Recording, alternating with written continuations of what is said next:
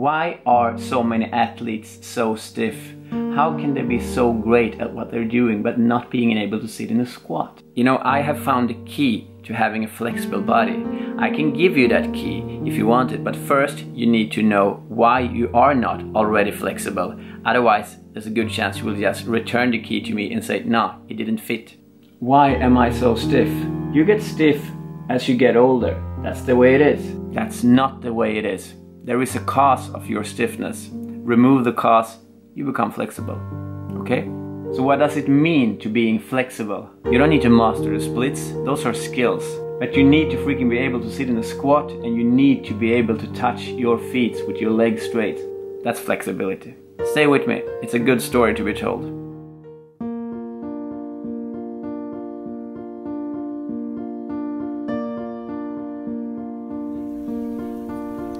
Along my journeys around the globe, I have met the most amazing superhumans that can do the most extraordinary things with their bodies.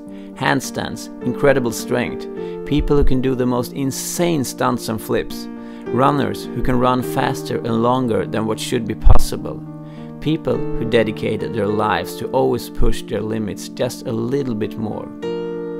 All these skills that without exceptions require insane amount of focus, dedication, patience, bravery, self confidence, but most of all, time.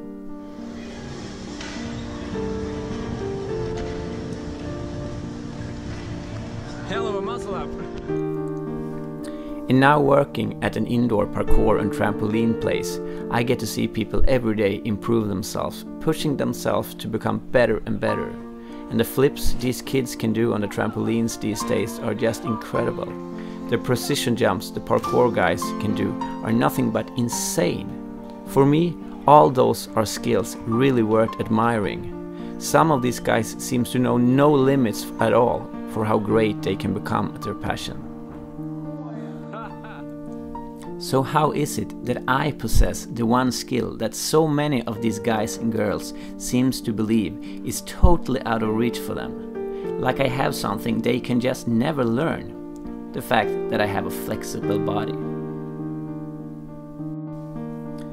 When I see these brilliant people in action, I make no try to hide how impressed I am by them and what they can do with their bodies, and I always tell them.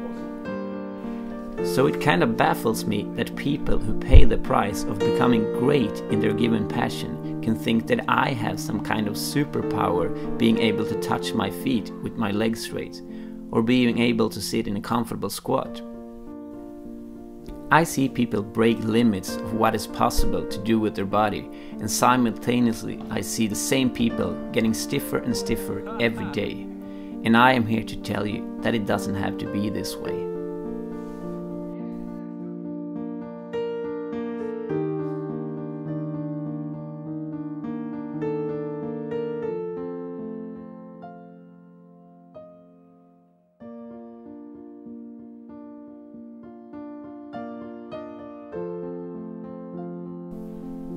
So let me tell you why I am flexible, and if you are not, let me tell you why I think that is. Being flexible is not a superhuman skill that is out of reach for anyone, no matter who you are. It is not even a skill. It was given to us for free at birth, and if we would have played our cards right throughout our lives, we would never have lost it in the first place. But as it is for now, becoming flexible comes with a price you need to pay. It is not a super high price if you ask me, but it is a price. I gladly pay that price and most people likely don't. That is the difference. That's why I am flexible and most people are not. So the question is, if you knew the price, would you be willing to pay it?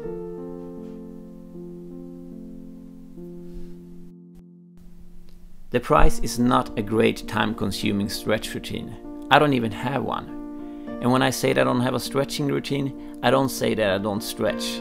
I do, a lot. And I do think having a stretching routine is great. I could definitely use one. It could definitely speed up the process as well. I just don't happen to have one. And if I had one, it wouldn't be the main reason I am flexible. Being flexible for me is a habit. It's the small things I do all throughout the day without even thinking about it. A habit that I developed at will and that everybody can and probably should develop. But the main thing are the things I don't do, the price I am paying.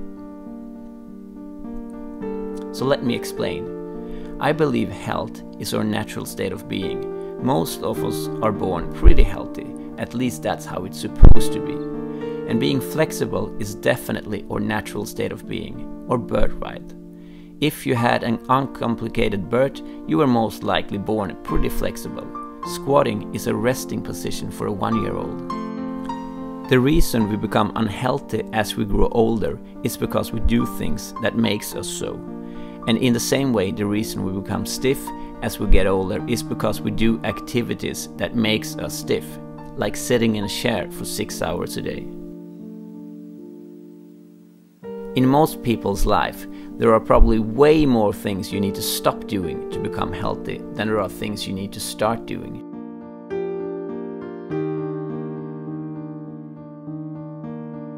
In the same way, to regain the flexibility you had as a child, there are a lot of things you need to toss out of your life.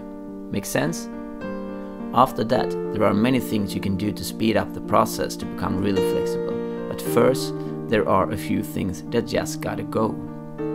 The biggest part of the price you need to pay are things you need to give up. Things that never served us but are so normal in our daily lives that hardly no one ever questions them. And there are two things that kills our flexibility more than anything. When I threw these two things out of my life, everything changed. I got so much of my flexibility for free simply because I stopped doing the things that makes us stiff in the first place. So these two things are Can you guess what they are? You guessed right. One of them is this stupid thing. The chair. I mean, look at this. We're so used to this stupid thing that we don't question that this is the reason why we are so stiff in the first place. Second one are these jeans how are you ever gonna be able to move? For me, it's quite obvious that this pair of jeans doesn't make you a great mover. Like, you cannot even squat in them. Ugh. The chair. Jeans. Again, let me explain. The traditional chair position is the biggest bad guy for our natural flexible body. It slowly kills our flexibility and we start at a really early age to spend hours and hours every day sitting in this unnatural position. And as a result, most people have lost their ability to sit in a comfortable squat at the age of 12, sometimes even at the age of 8. I frequently have the groups of kids that I am coaching sit in a squat, and most of the kids between the age 9 to 12 struggle with it, while pretty much all of the 4 to 8 year kids squat perfectly fine often without even thinking about it. And the grown ups have usually forgotten they ever had the ability to squat or to touch their feet standing up. And back problems, tight hamstrings, and short calf muscles are standard for grown ups. You don't need to know the exact science behind why the chair is so harmful for our body. Just throw it out of your life and watch what happens with your body. And jeans or stiff, uncomfortable clothing in general are the reason we cannot implement regularly stretching in our daily lives. We cannot even squat in jeans, let alone stretch. So, what do we do? We find the closest bench or chair to sit down. We're too stiff to do anything else. The price I am paying to be flexible is I never sit in a chair position. I do sit in chairs on rare occasions, but almost never in a traditional chair position. I squat in the chairs, or sit with one leg up on the seat, or both legs on the table. But in general, I sit on the ground. I sit on the floor. In the beginning, I couldn't squat comfortably for more than 30 seconds, but I didn't let that stop me. I sit in any position on the floor, I just stay away from the chair. It doesn't matter how you sit as long as you avoid the traditional chair position. I practiced the squat until it was in my nature. And when you never sit in chairs, You have plenty of time to practice the squat, believe me. The second part of the price I am paying. I never wear clothes that I cannot easily squat in or stretch in. When I am always dressed for stretching, I can implement stretching in everything I do. I developed the habit of making use of every dead minute during the day for some easy stretches, combining sitting activities with some stretches, such as squatting while working on the computer and so on. Stretching is uncomfortable for the body, and most of the time we don't feel like doing it, so I figured if I make it a habit, I will stretch without even knowing it. Habits are habits. It doesn't matter if we like them or not, whether they serve us or not. When it's a habit, it sticks with us, whether we like it or not. It was hard in the beginning, and people thought I was crazy, squatting everywhere. At the lunch break, at work, I was squatting in the chair, or I sat down on the floor. People thought I lost it. I took every opportunity I got to do some stretches. If I got some spare minutes, like waiting for the bus, standing in the line at the supermarket, I did some stretches. I implemented squatting and stretching in my daily life until it was second nature to me, until I didn't even think of that I was doing it. And no wonder, as a result, I became super flexible. And thirdly, to be able to do these first two things that I mentioned, I had to let go of the fear of what other people may think of me when they see me. Because people will look at you when you squat at the bus stop, when you sit on the floor inside a train practicing your middle split.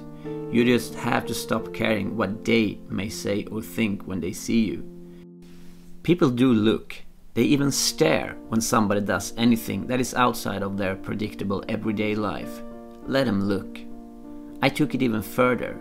Now I practice handstands while waiting for the bus, in the line of the supermarket, and so on. Every day is filled with opportunities to practice our greatness. And when asked how much time I do dedicate every day for stretching, my answer is I don't know. I dedicate almost no time for stretching, and yet I do it all the time. Making the whole thing a habit is the key. I don't want you to develop a fear that the chair is so bad that you can never sit in it. It is not a problem for me to sit in a chair once in a while.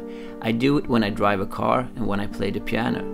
It is just that the habit in me now is so deeply rooted that if you put me in a chair and then distract me with something, I can assure you, within short, I will sit in a squat in the chair without me even knowing it. I do understand that people most likely think I'm a weirdo when they see me. This is the price I gladly pay to be flexible. And trust me, it is worth it. It is awesome to be mobile. It is awesome to have control over your muscles. But everybody seems to be too busy to dedicate any time for stretching or becoming flexible. But with this way, you don't even have to dedicate time. It's more about using the time you already have. Becoming flexible, unlike most other physical activities, doesn't require much skill, or actually no skill at all. You don't need to be fit or in good shape, you don't need to be brave, you don't need any money, you don't need anything. You do, however, need to pay the price. And the price of being flexible is far lower than the price of becoming a great runner, a gymnast, or a great football player, and so on. Most people already know where to start, just do the stretches. But of course, to know what we need to do and even know how to do it is never guaranteed that we will do it. What most people don't know, however, is what is making us so stiff in the first place, and that if we would simply remove the cause, it would become so much easier. Most people probably believe that it's just the way it is. We become stiff when we grow up. That is the whole point of this video, to create awareness that you do have a saying in this. You're not doomed to live in a stiff body just because you didn't choose gymnastics for a career. Everyone can improve their flexibility drastically, pretty fast. But I hope you understand that it doesn't happen overnight. Nothing great does. How long it will take depends, of course, on where you are now. But the results will come, that is for sure. In my case, I was not super stiff to begin with. I just never liked to sit still and I always done some stretches after workouts and runs, so I was never in that bad condition. But Where I was three years ago and where I am now is beyond compare. I threw away my last pair of jeans back in 2013. I stopped sitting in chairs late 2015. And what also helped was I stopped using shoes with a drop sole in the summer of 2015. Shoes with a higher heel have a tendency to shorten our calf muscles, which makes it harder for us to squat. And I can really hear how your inner voice is screaming out, no, no, no, I don't want to become like that weirdo. And that's fine. Who wants to give up the share and jeans just to become flexible? I did. Definitely. So if being stiff is not a problem at all for you and you don't care for change at all, fine, go on with your life. This video is not for you. This video is for athletes who have become great in what they do, but for some reason they totally neglect their flexibility. And I think the reason they neglect their flexibility is because they think it's out of reach for them. Like it's something they cannot learn. And it's not true. At least I don't think it's true. Now, there are, of course, a lot of other things that plays a big role when it comes to how flexible you are, like your shoulder mobility. I think it's fair to assume that the reason people lack shoulder mobility is because we nowadays spend a lot of time on the like this and makes you stiff. I developed the habit some time ago to always do this with my shoulders, like my arms behind my back. And I think that helps a lot with your shoulder mobility because now my sh shoulders are really flexible. And as I said earlier in the video, being flexible for me is not so much about how good you are at the splits, it's more like how mobile you are. Your mobility, how much you can move and feel like you're in charge of your body. If you are one of those great athletes who feel like you mastered your passion, but you feel like you're getting stiffer and stiffer by the day, I gladly help you in any way I can.